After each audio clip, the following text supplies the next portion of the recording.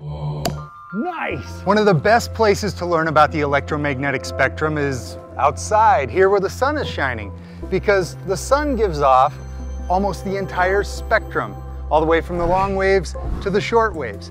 And that's why when we come outside, we can feel the heat from the sun. That's why we get a suntan or a sunburn on our skin, because the sun is giving off all of the different types of electromagnetic radiation. Maybe back when you were a kid, you'd go out on a sunshiny day and you'd get out a magnifying glass and you let the sun shine in one side, it made a little sharp beam of light on the grass, and that light might have started the grass on fire. That's because you're focusing all of that visible light, that infrared light, all into one spot. So if you could do that with a magnifying glass this size, imagine what you could do with a massive one like this. So this is a Fresnel lens. This is off of the front of a 51 inch big screen TV. I've got the sun up high, it's a beautiful day, 90 some degrees, and it's shining down. And now this is focusing, just like it did with this, into one spot down here. So it's taking all of that energy and pounding it into this steel plate. What we're gonna try to do today is put some things in that beam of light and see what happens. This is amazingly bright. One, two, three, flame. Nice! So if we're gonna start cooking things with the sun, the obvious place to start is with America's favorite food, bacon.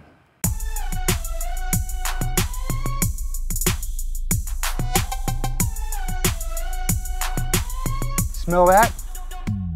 It's called the Maillard reaction. That's when meat and protein undergo a chemical reaction. When you smell barbecue and cooking meat, mm, it smells so good thanks to Mr. Maillard who figured out what that reaction was.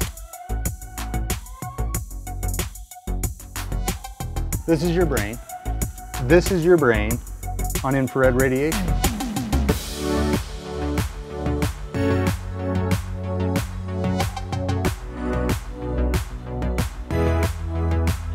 How do you like your eggs?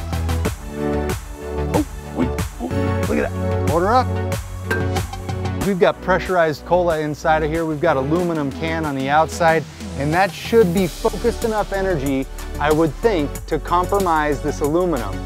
And it should pop, which is why I'm gonna set this in there, and then I'm getting out of here. Go, yeah! Now it's smoking. Oh yeah, pinholes, look at it. Oh, right all over the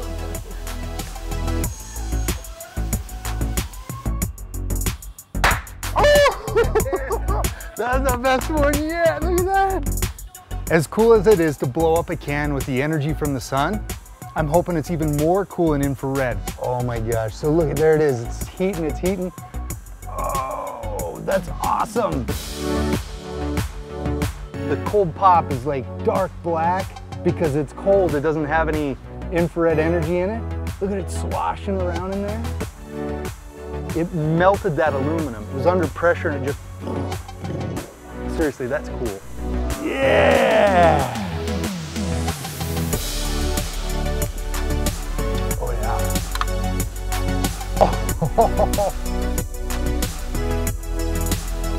oh. little pinhole in there.